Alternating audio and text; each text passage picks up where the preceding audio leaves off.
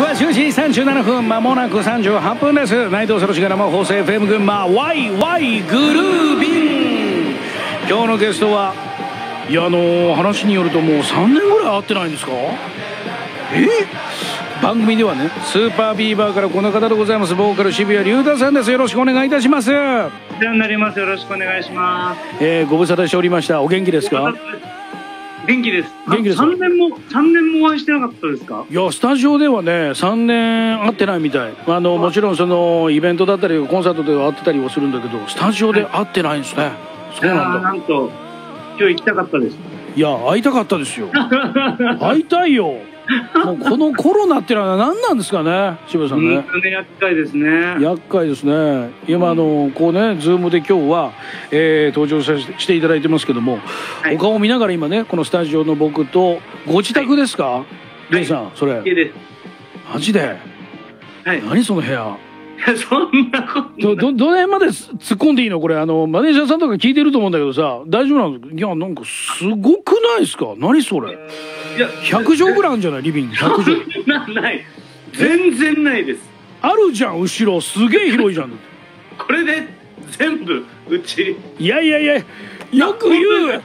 え？本当にこれで全部？隠し部屋とかあるんでしょ後ろにないですないです。綺麗な部屋だねでも。あったらあったら自慢してます。あのご自宅でまあ、ゆっくりする時間ってやっぱり増えたんですか？どうなんですか？いやそうですね。もう家でゆっくりしすぎてちょっと変な感じです。今までだったらだってツアーに出てねライブばっかりやってたバンドじゃない、はい、そうですね。だからあの、うん、初めてまっとうにお家賃払ってる感じします。面白いでもそういうことか。今までほとんど家にいないんだもんねだってね。週に2日しかいないとか、うんうん、1日しかいないとか結構ザラだったので、はい、家賃って何のために払ってんだろうなって結構思ったんですけど。そうか東京で多分おやお高いだろうしさお安くないだろうから、でもそういう中ででちょっと帰ってきても荷物また詰めてまた出かけないといけないっていうなんかその生活だったでしょ？だってね。もう洗濯するために家帰ってますね。はい。どうですか？部屋の掃除とかやっぱりよくしました？いやもうなんだかお部屋超綺麗になっちゃって。いやわかる気がする。初めそうだよねコロナでね。部屋がやたら綺麗になっちゃって。はい。物が減りましたいやでもね今日ねそのねコロナというキーワードもどうしても喋らないといけない部分もあるんですけどもただ群馬もなかなか来れてない感じですよねそう考えると、やもうあのほとんど、えっと、2月まで、うん、3月からは一切東京の外出てないので、そうですよね。そうなんですよ。あもうそろそろ出たいでしょう。もう全然限界です。やっぱりライブしたくてしょうがなくなったりとかするの？いやもう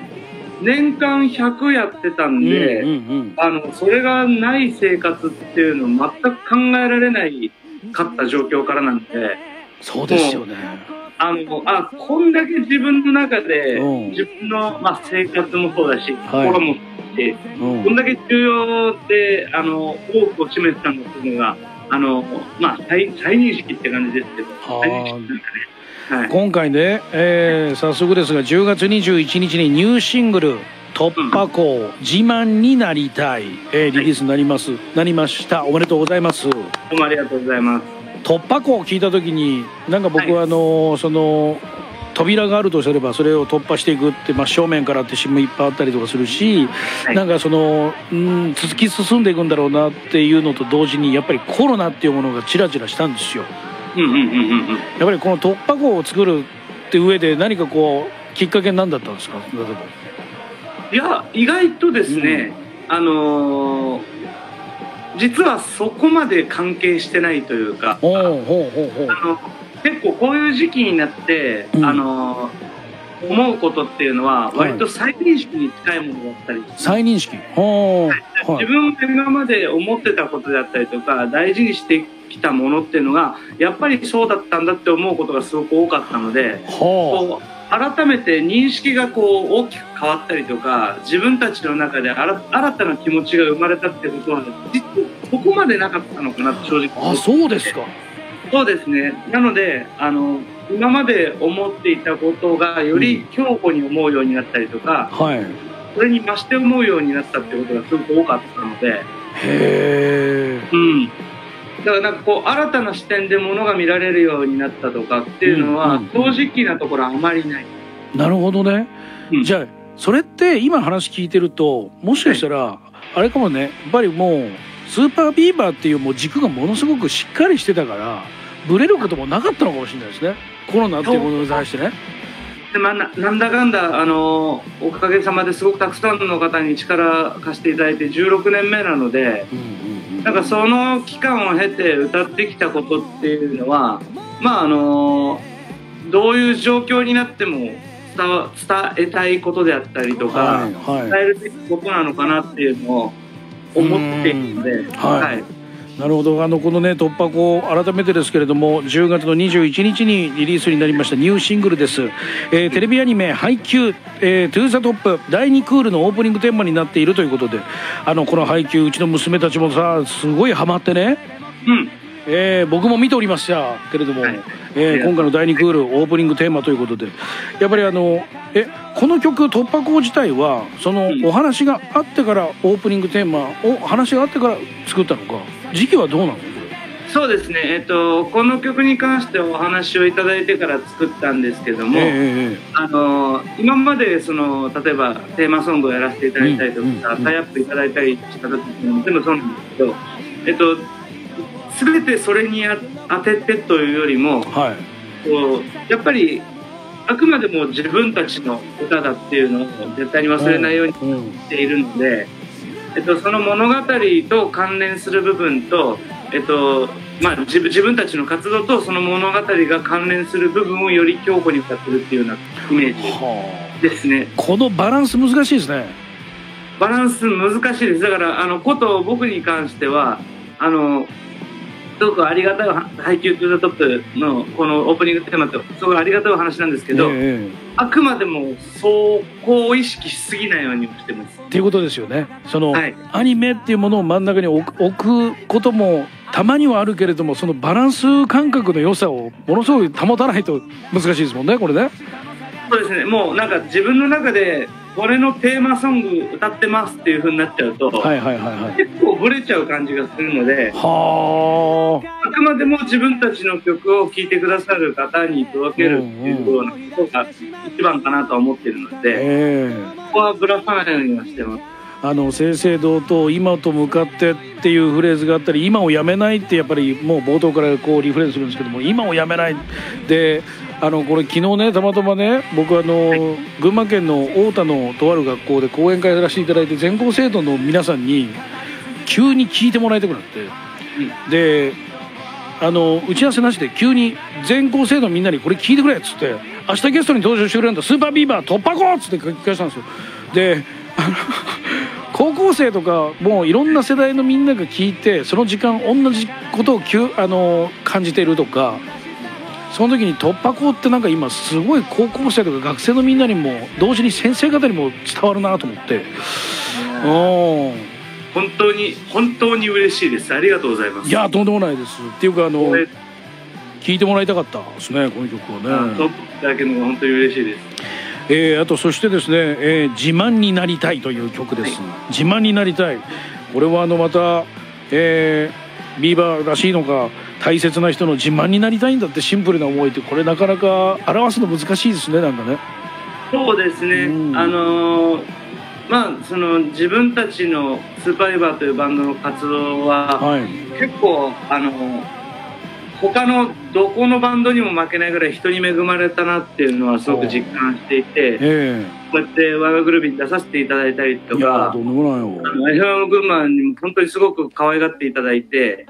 で、なんかすごく人に恵まれたっていうことを思うと、自分たちの活動の中で、一体すごくシンプルにどんなことがしたいんだろうなっていうのを考えたときに、パってまず出るのがこれっていう。なんかすごくその自分たちの音楽を好きで聴いてくださる方が、まあ一番そうなんですけど、すごく身の回りにいてくださる方であったりとかっていうことをすごく考える瞬間が最近やっぱ増えたなと思って、うん、あのそれこそコロナの時期とかはまああったかもしれないけどそこまで大きく影響はせずとも、この16年目っていう歴史の中でそういうのを考えるのが増えて、まあ、すごくシンプルに自分たちの気持ちを落とし込んだ曲ですね。今ちょっと前後するかもしれませんが今ね結成16年目って話があった。で15周年じゃないですか。15年じゃないですか。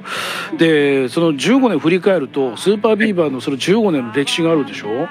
でその中でこのコロナってやっぱりでかい出来事だと思うんですよ。正直ね。そうですね。でしょ？でもでかいけど、はい、そのバンドのスタイルとかそのあんまりコロナに影響されなかったって言い切れるってすごいことだと思うんだよ。俺めっちゃ影響されたしだって。うんうんうんうん。で影響されて内藤が急に俺歩き始めたからね。どういうことですか？ごめんなさい。どういうこといやだから運動とか全然やる気なかったのがなんかこのタイミングで何かやんなきゃダメだ俺と思って、変わるとかなんかその、変わろう変わろうみたいな部分のメッセージとかリスナーさんからやっぱり多かったんですよ。だからすごいなんかそれなりの影響みんなそれぞれあるんだろうけどその中でもやっぱり自分たちはこれだよっていうスーパービーバーがあるっていうのはそれすごいことだと思いますよ。あのその変わらなかった部分っていうのは正直その軸となった部分だけあって正直あの個人的にはめちゃくちゃ食らいましたし、はいはいうんうん、バンドの細かいところっていうんですかね。ああバンドの細かいところ。なるほど。はい。やっぱり影響は受けてます。ただそのまあ軸となる部分だけはぶれなかったっていうのがギリギリセーフだったのかなっていう。なるほどね。だからはいいやあの今日ねあのたくさんメッセージも頂いてるので改めてちょっとあの CM を挟ませていただいて、えー、もう一曲、えー「自慢になりたい」お聴きいただきながらメッセージも紹介させていただきたいと思います、えー、これ後もお付き合いください。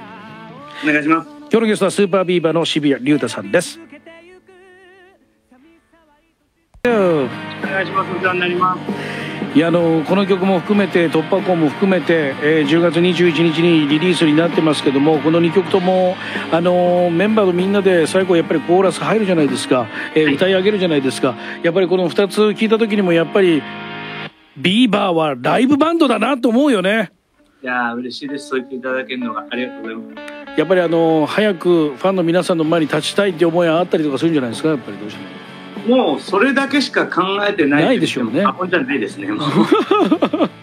ねえ本当に、はい、えー、ちなみにこの「自慢になりたい」えー、ミュージックビデオには俳優の菅健太さんが出演されていて、はい、彼らからもビーバーファンを公言されておりましたけどもこう、うん、なんか受け取って実現した